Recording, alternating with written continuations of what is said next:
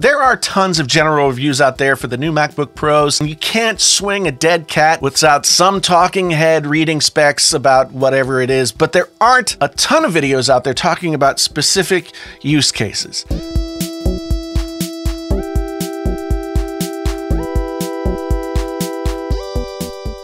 If you do need just the basic stuff, you can choose just about any Mac that's out there and never really have an issue. But if you're a musician, if you're a video editor, if you're both of those things, uh, then it's not quite as easy. I've been a musician and an audio engineer for more than 30 years. I mean, I started recording when there was no recording on computer. It all happened on uh, tape.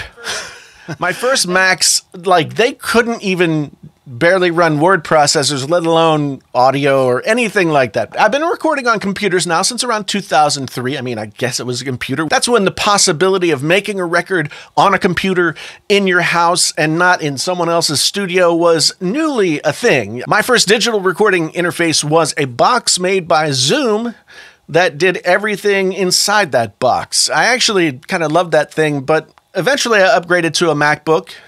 Then around 2008, I got an iMac and I started recording other bands as well as my own stuff. Did that for a few years. Video came along for me in 2013 when I started making this YouTube stuff. Back then, I was just using iMovie with maybe the internal webcam or a, a, really terrible webcam otherwise. HD was a dream, 4K was another dimension.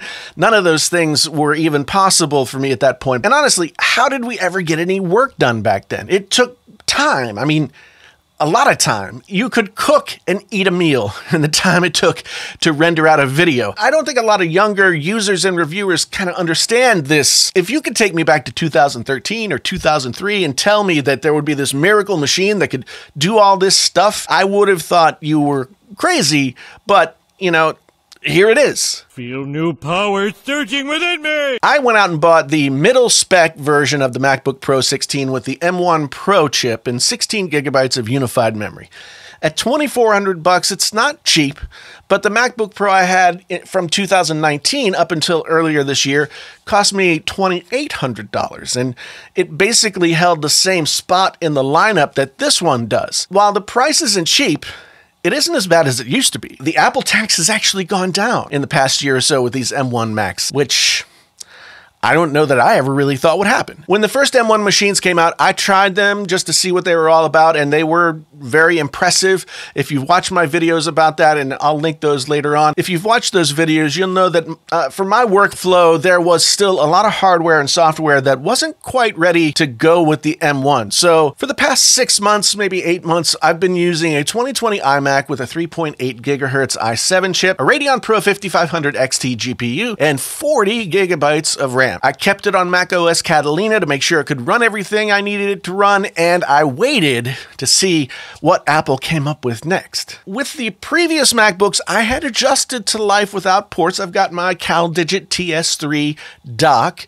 The four USB A ports and two Thunderbolt 3 ports on the iMac were a nice luxury. It worked pretty much flawlessly in the time that I had it, and it helped me get my workflow settled down so I could be more efficient. In a world without the new MacBook Pros, I could have happily used the iMac for years to come. But when Apple announced these new MacBook Pros, not only with the power that they claimed, but then uh, they brought they actually brought back some ports and they improved the headphone jack. I mean, I, yeah, I got a little giddy, okay? I just went and I said, bring me the thing, and poof. And I haven't been disappointed. The MacBook has done everything I've asked without breaking a sweat. There's no fan noise, there's no heat. It just pretty much instantaneously does whatever. I, I mean, it could only be faster if it was connected to my brain. Now, now, don't get me wrong, I'm still impressed. For someone who makes videos and records audio, the reintroduction of the SD card reader, the HDMI port, I don't have to worry about dongles as much, while the inclusion of Thunderbolt 4 ports here still, uh, I can hook up the MacBook to my desktop setup with just that one cable and have everything available to me. I mean, including my audio interface, a full selection of microphones, keyboards, electronic drums, as well as my permanent camera setup that I, I use for filming right here. Uh, being a creative person, uh, especially an independent creative person, has honestly never been easier. And it just keeps getting easier as Apple releases more and more stuff. Apple did not have to mess with the headphone jack, but they did it and now I can use my less sensitive, more professional headphones like my Sennheiser HD600s or DT770s without having to go and use an external DAC or anything like that. When it comes to video now, my video projects, as if you're familiar with the channel, really aren't like super involved. I try to keep them simple so that I can get more stuff done and get more content out more quickly. But rendering videos always takes a decent amount of time. And on the iMac, it was not terrible, but it, it wasn't like that.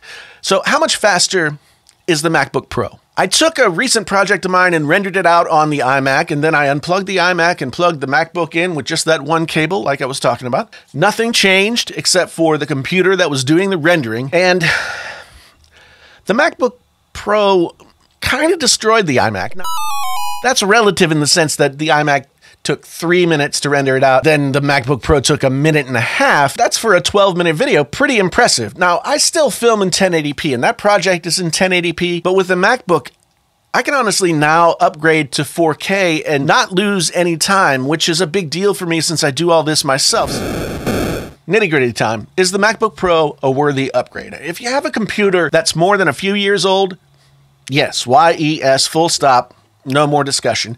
I mean, it, you can get your work done with whatever you've got, surely.